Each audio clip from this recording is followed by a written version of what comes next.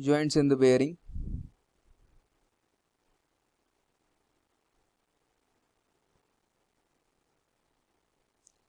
Basically joints are the weakest and most vulnerable area in the bridge design.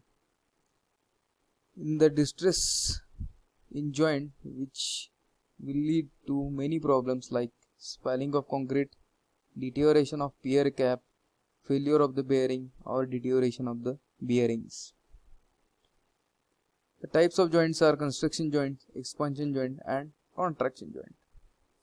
The construction joint.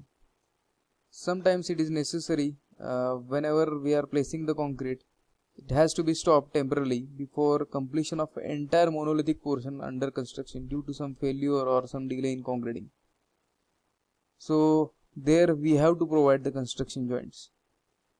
So basically these joints should be avoided as much as we can so these joints should be positioned to minimize the effect of discontinuity on durability, structural integrity and appearance of the appearance of the structure if we cannot avoid these things. Also, the joint should be located away from the region of maximum stress due to loading. Now the expansion joint.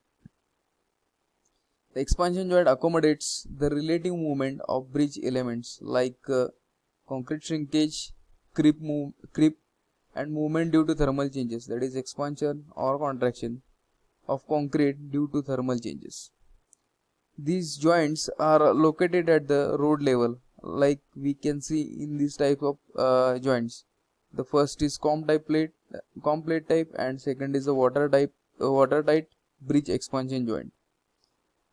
So these are subjected to impact and vibration due to wheel load and wheel load due to the passing vehicle on the bridge and these are exposed to the effect of water, dust, petroleum derivatives and salt solutions. So types of the expansion joints. The first is the buried joint which is which can be suitable for simply supported span with movement up to 10 mm. The life service life is 10 years and these can be used only for the deck with bituminous or alpha asphalt wearing courses. The second is the filler joint this is also for the simply supported span with movement up to 10 mm. Service life is 10 years and need to be replaced if found damaged. The third is the single strip seal joint which allow movement up to 80 mm. The service life is of 25 years. The elastomeric seal of these kind of bearing need to be replaced during the service life if found distressed. Then next is a modular strip or box seal joint. It allows the movement over 80 mm. The expected life is service life is 25 years. In these kind of bearings also elastomeric seals need to be replaced if found uh, broken or distressed. The next is the finger joint which allows movement up to 80 to 200 mm. The expected service life is 25 years. These kind of joint are not suitable for vertical or differential vertical movements and these joints need sound anchorage with decks. Then last is the special joints which allow movement between 80 to 200 mm. The expected service life is 25 years. These joints designed for the high seismic zones and special design is required for these kind of joints. So what are the requirements of expansion joints?